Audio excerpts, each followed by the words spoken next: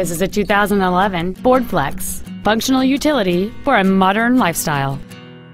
It has a 3.5-liter six-cylinder engine and an automatic transmission.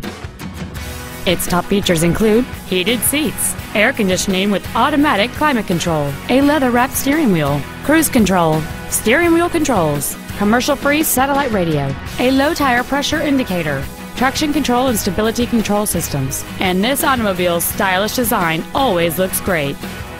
We invite you to contact us today to learn more about this vehicle.